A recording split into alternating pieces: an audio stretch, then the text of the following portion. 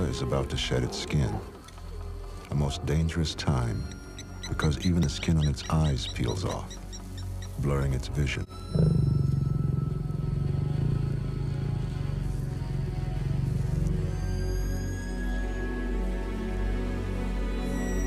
The snake strikes at any movement, attacking both the lioness and her cubs. The cobra's venom has an immediate effect on Matsumi's nervous system. As we followed her out into the open, she deteriorated rapidly.